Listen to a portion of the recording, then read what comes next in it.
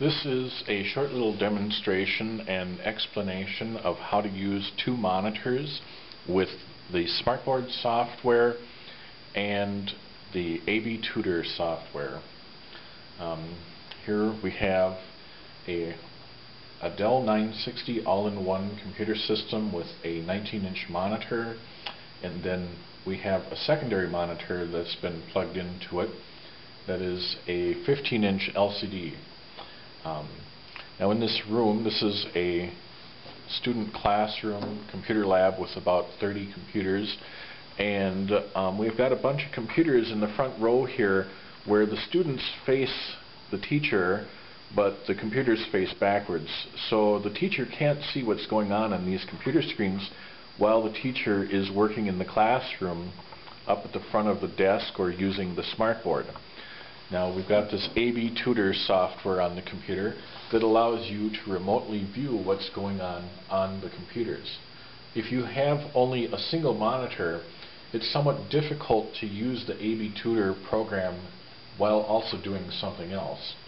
If you watch what's going on on the other computers, here I will connect to several of them.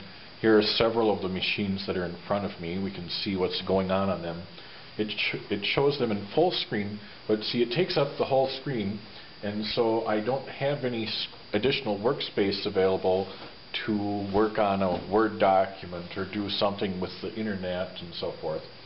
Um, now what we can do here with the second monitor is that we can take those screens and we can shift them from this monitor over to this monitor. Um, to, to show you how this relationship works, we go into the resolution settings for the computer and the two monitors show up on this little work area right here and you can rearrange your monitors so that the edges of the screens touch in a way that matches the, the physical arrangement of your two monitors. This 1 and 2 helps you identify which monitor is which. And if you click identify, it puts giant numbers on the screens to show you which one is which. So what we've done here is this monitor is put just a little bit down to the right of the big one so that when you move the mouse from here and you get to the edge, the mouse will cross over to the edge and appear on this monitor. And this, this also works for any windows and so forth. If I click and hold on the title bar of the window, I can drag the window and it appears on the second monitor. And you can just drag stuff right over here and make it come over here. So if you run out of area on here working on stuff, you just drag it over here and continue working. Um, now if I open the AB Tutor software and we click Watch, it comes up full screen on this monitor.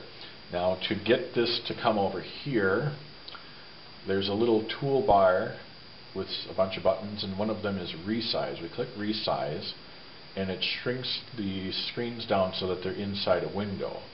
Then we can click and drag on this window and drag it over to the second monitor and then we click on our on resize on our little toolbar and now those screens fully fill the second monitor. We can also move our toolbar so that it's on the second monitor. So now I can work on two things. I can work on an assignment or I can show something on the smartboard to the students in the classroom and I can also monitor what the students are doing using the second monitor.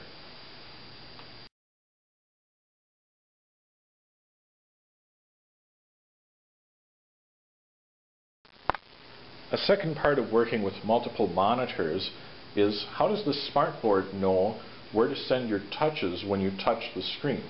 Which monitors should the input go to? The newer versions of the smartboard software have a very easy way of setting this up. When you orient the board, an additional option appears at the bottom. So here on the orientation, you see it's only on this monitor, it's not on both.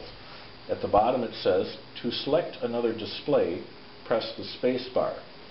So if I want this to be the monitor where the touches go, I just press the spacebar and orient the board for that screen. Then press spacebar, comes back over here again. So this way, if you have two or more monitors, you can just keep pressing spacebar until the, the correct screen that you want is selected and orient the board for that screen.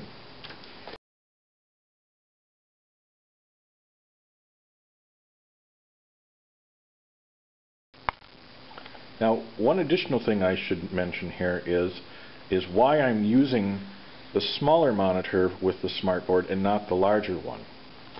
For the way that this classroom was set up, the computer is a widescreen monitor, but when you look at the smartboard, the smartboard is not widescreen. It is the standard, more squarish shape, and so this screen shape does not properly fit onto this widescreen monitor. If we show it on here, what we end up having to do is we have to have black bars along the edges that cut off the screen so that this shape will properly match the smartboard. So it's you're, you can't effectively use this screen. You end up with this wasted space that you can't do anything with on the edges of the screen. So instead what I've done here is I'm using a smaller, you'd consider it an older, inexpensive, and you know, not that great monitor. It's not widescreen, but the, it, this monitor exactly matches the shape of the smartboard. So this way, we can use the smartboard to its full potential on this screen, and then also use this screen for an additional workspace for the AB tutor